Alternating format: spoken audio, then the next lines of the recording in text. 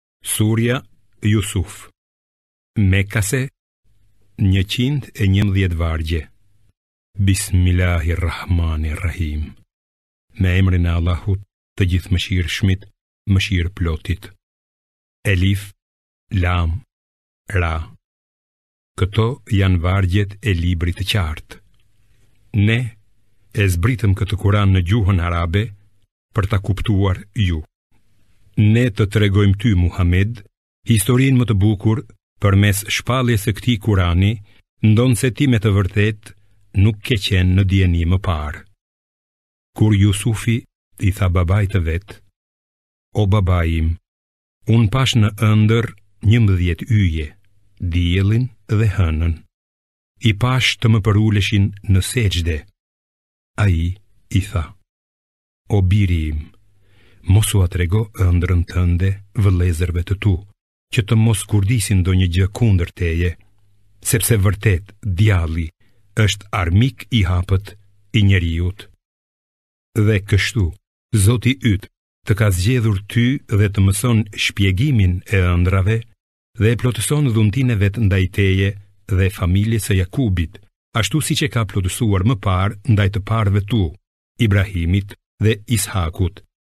Pa dyshim, Zoti yt është i urtë dhe i gjithdijshëm. Për të gjithë ata që pyesin në historinë e Jusufit dhe të vëllezërve të tij, ka shumë mësime. Vëllezërit e tij thanë: Jusufi dhe vëllai i tij janë më të dashur se ne për babanë tonë, ndërkohë që ne jemi një grup i tërë. Babai ynë me të vërtetë po gabon.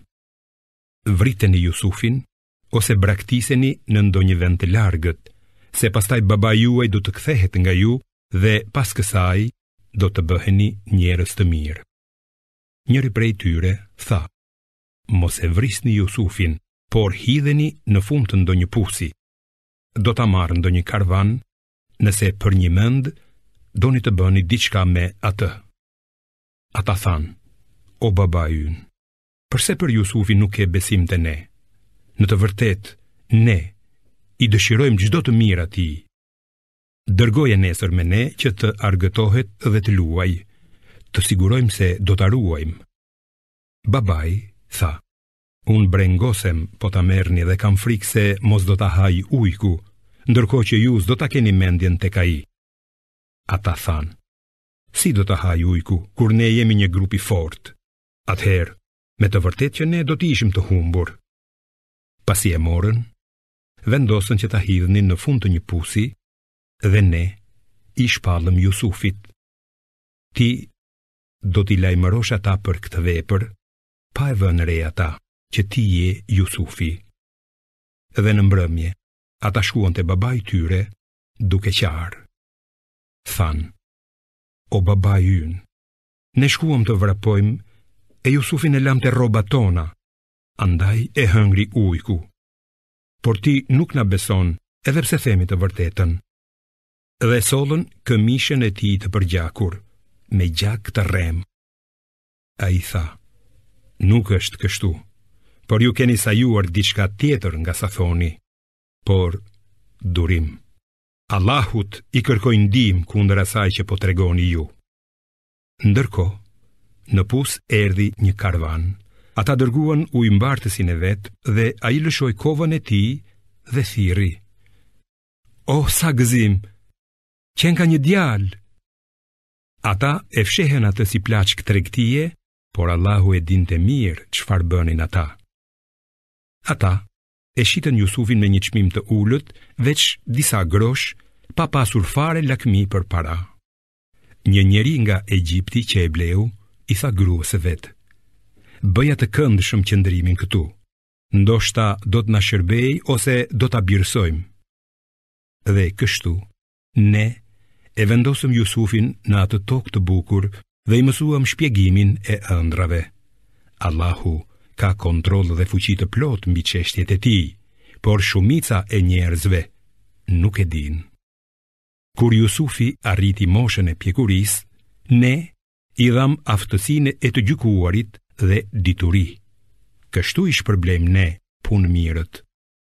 Por ajo, në shtëpinë e së cilës gjendej ai, nisi ta joshë në kundërshtim me dëshirën e tij. Ajo ia mbylli të gjitha dyert dhe tha: Jam e gatshme për ty.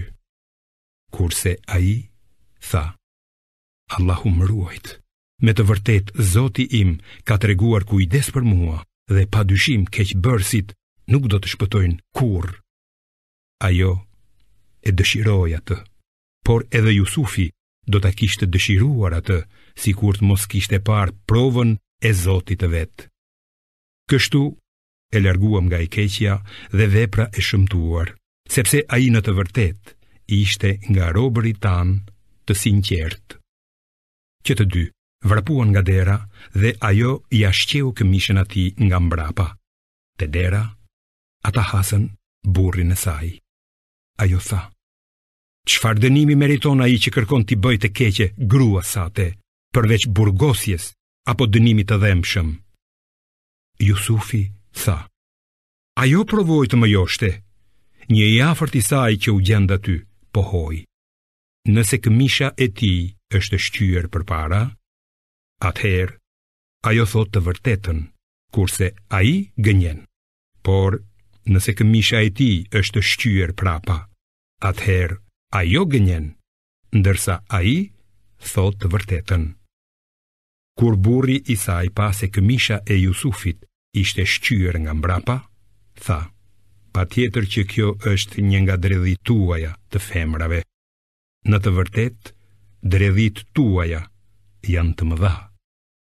Ti, o Jusuf, largohu nga kjo, kurse ti gruaja ime, kërko falje për këtë gjynah, sepse në të vërtetë ti je fajtore. Disa gra të parisë në qytet po thoshin: Gruaja e Azizit, ministrit, deshi ta joshte shërbëtorin e vet, asaj i ka rënë vërtet në kokë dashuria për të. Ne besojmë se ajo e ka humbur fare.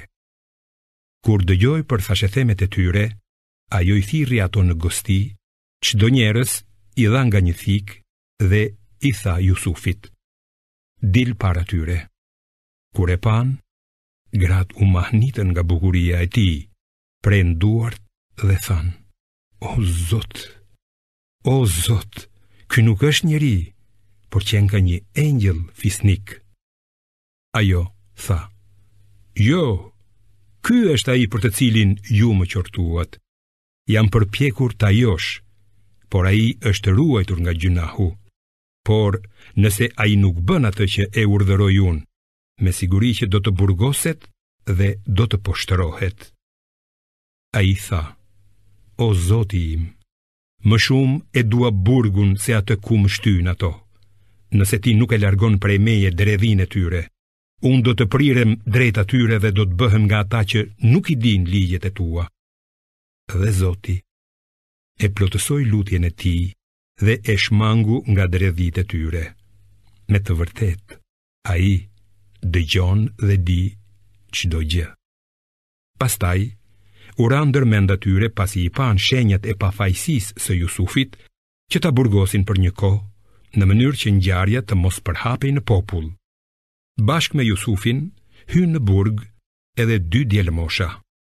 Njëri prej tyre tha, Unë kam parë në ëndërr veten se si shtrydhja verë. Tjetri tha, unë kam parë në ëndërr se si mbaja në kokë bukë, të cilën e hanin shpendët. Shpjegona kuptimin e ëndrrave. Ne, me të vërtetë shohim se ti je njeri i mirë. Jusufi tha, sa herë që t'ju vijë ndonjë ushqim në ëndërr, si rrisk për ju, unë do t'ju lajmëroj se çfarë kuptimi ka, para se të bëhet realitet. Kjo është prej diturive që m'i ka mësuar Zoti im. Unë e kam flakur fenë e njerëzve që nuk besojnë Allahun e që mohojnë jetën tjetër. Unë besoj fenë e të parëve të mi, Ibrahimit, Ishakut dhe Jakubit. Ne kurrë nuk mund t'i shoqërojmë Allahut ndonjë gjë në adhurim.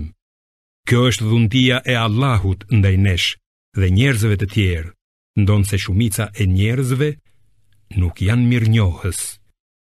O shokët e mi të burgut, a janë më mirë një mori zotash të ndryshëm, apo Allahu, i vetmi, ngadhënjimtari, ata që ju i adhuroni në vend të Allahut, janë vetëm emra, të cilët i keni vënë ju dhe të parët tuaj, pa pasur prej tij asnjë argument.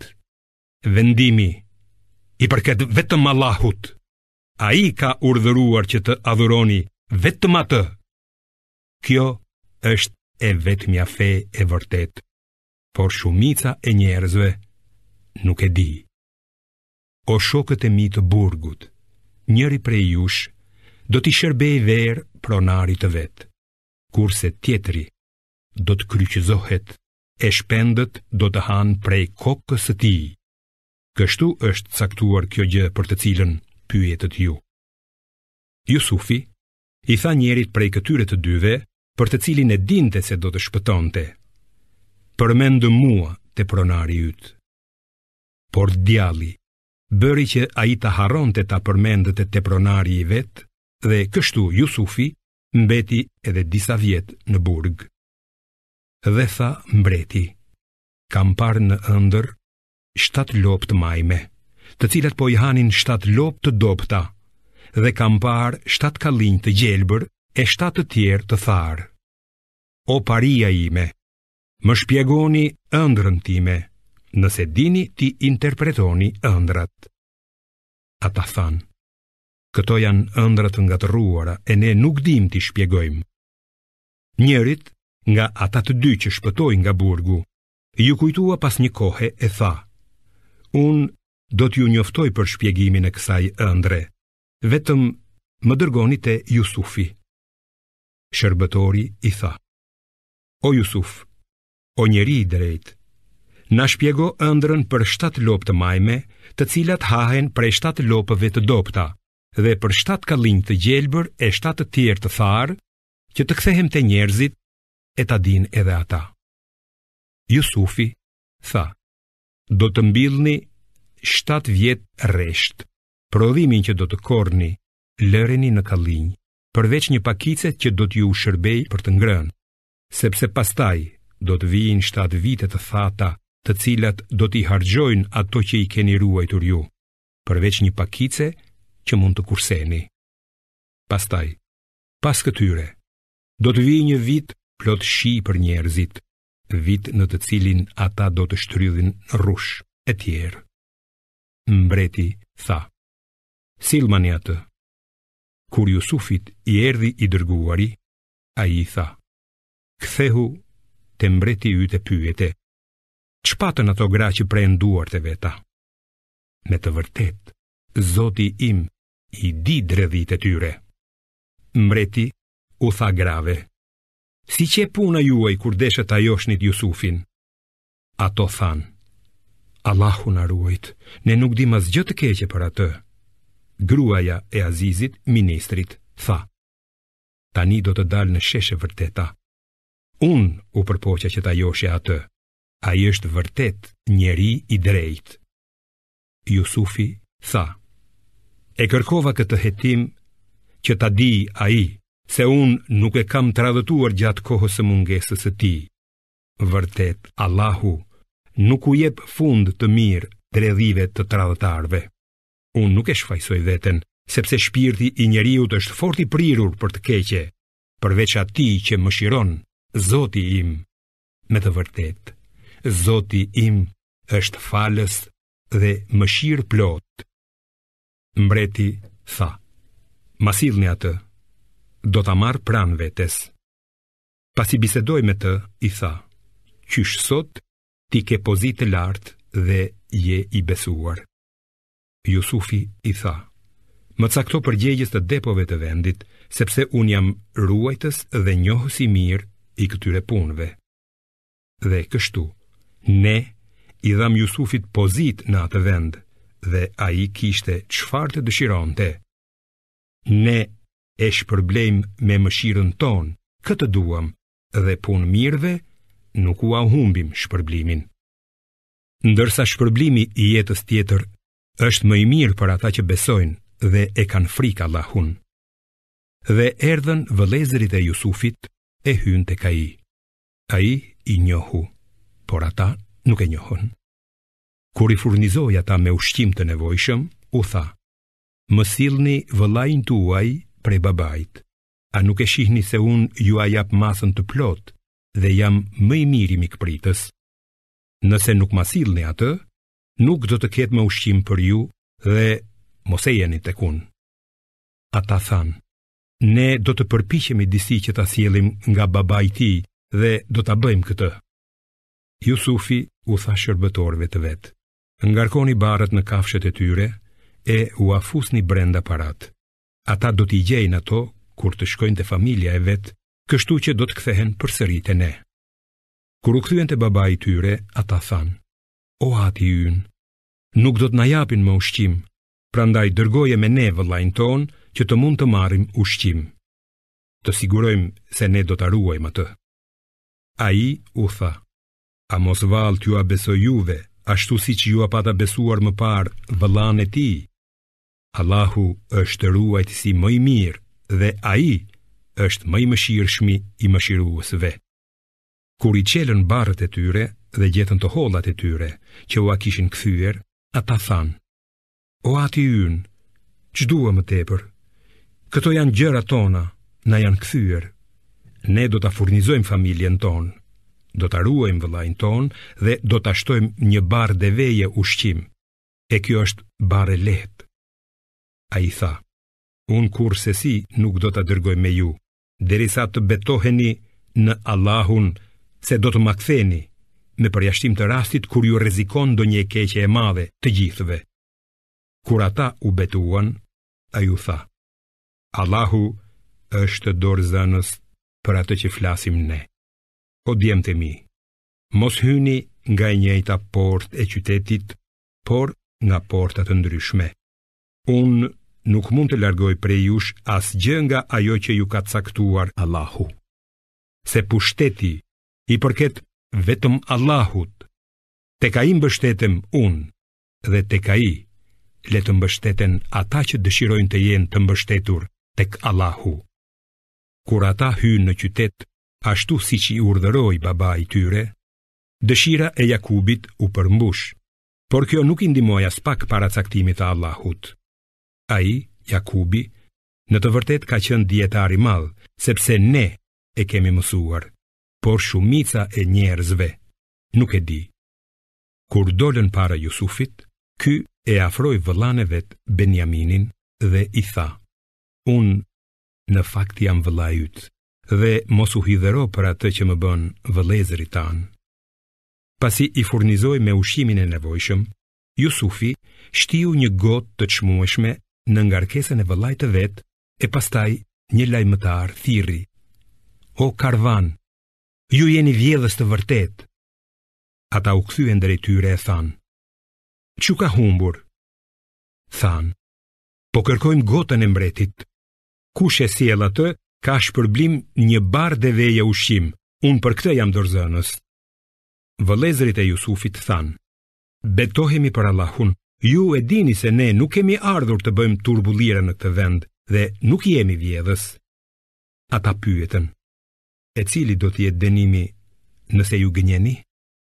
Vëllezërit thanë, dënimi për atë në barrën e të cilit gjendet gota, është që të mbahet peng ai vetë.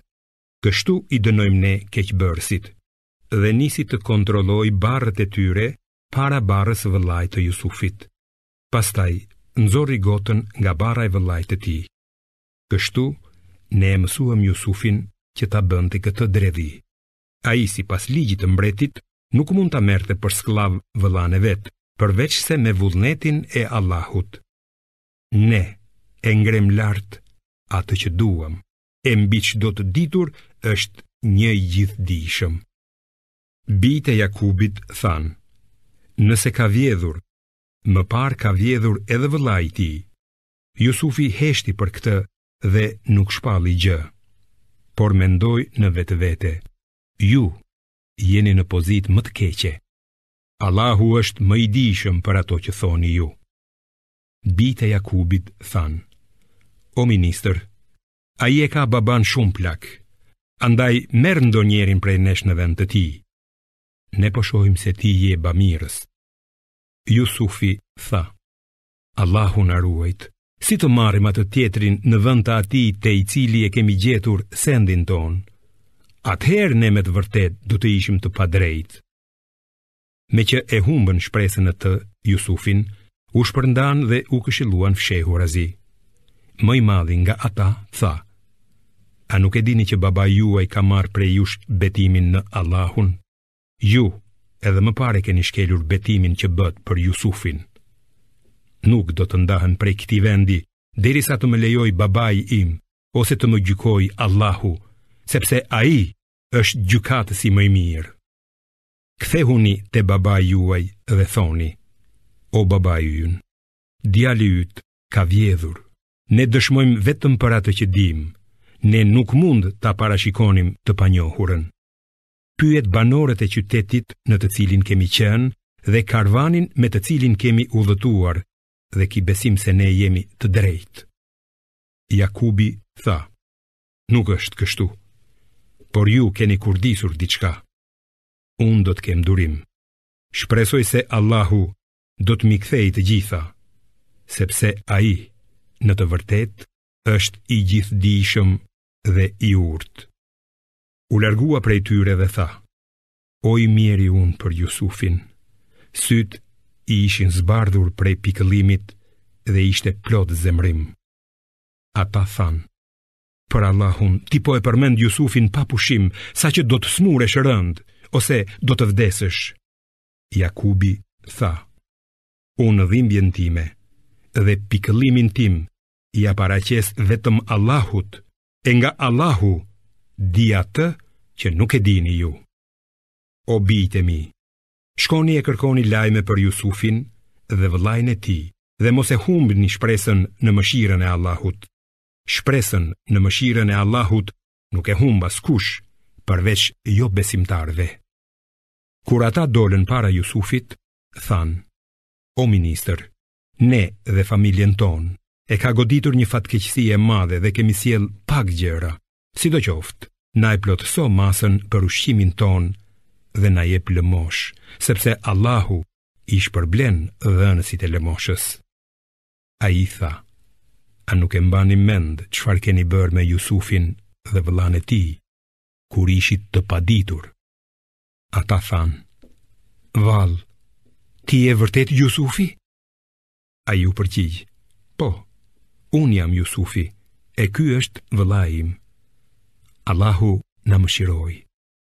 Atë që ruhet nga gjynahet dhe bëhet i durueshëm, Allahu e shpërblen se ai kurrë nuk ia humb shpërblimin punëmirëve.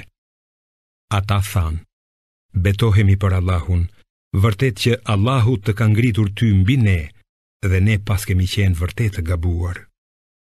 Ai u tha, sot s'ka qortim për ju, Allahu do t'ju falë. Ai është më i mëshirshmi i mëshiruesve. Shkoni me këtë këmishë timen, dhe vëreni në fytyrën e atit tim, e ai do të shohë, dhe m'i sillni tërë familjet tuaja. Kur karvani u largua nga vendi Egjipti, babai i tyre tha, unë me të vërtetë po ndiej erën e Jusufit, ndonëse ju mund të më quani matuf. Ata thanë, për Allahun, me të vërtetë, ti edhe tani qëndron në gabimin e mëparshëm. Kur erdhi sjellësi i lajmit të mirë dhe ia vuri këmishën në fytyrë, atij iu kthye shikimi. Ai tha, a nuk ju kam thënë se unë di nga Allahu atë që ju nuk e dini. Ata thanë, o babai ynë, kërko falje për ne e për gabimet tona. Ne, paskemi qenë vërtet gjynahqarë. Ai u përgjigj, do ta lus zotin tim që t'ju falë, pa dyshim që ai është falësi dhe mëshirëploti. Kur ata hynë te Jusufi, ai i afroi pranë prindërit e vet dhe tha, hyni në Egjipt, me lejen e Allahut, ju do të jeni të sigurt prej çdo të keqeje. Ai i ngriti prindërit e vet në fron dhe ata të gjithë iu përulën atij. Ai tha, o babai im, ky është shpjegimi i ëndrrës sime të dikurshme. Zoti im e përmbushi atë. Mua më bëri mirësi, kur më nxori nga burgu, kurse juve ju solli nga shkretëtira. Pasi djalli pati futur ngatërresë midis meje dhe vëllezërve të mi, vërtet. Zoti im është i butë me kë të dojë. Ai është i gjithëdijshmi dhe i urti. O Zoti im, ti më ke dhënë pushtet dhe më ke mësuar shpjegimin e ëndrrave.